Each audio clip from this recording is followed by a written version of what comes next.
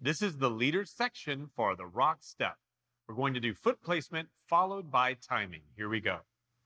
It is left foot forward, right foot back and curving. And now our timing, it is one, two. And now let's do that again. Here it is, foot placement.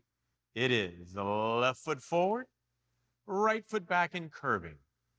And then our timing is one, two.